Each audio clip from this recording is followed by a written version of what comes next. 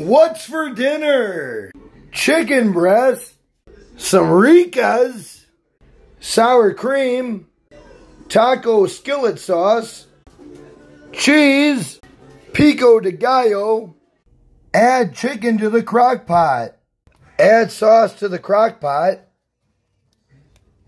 Shred the chicken.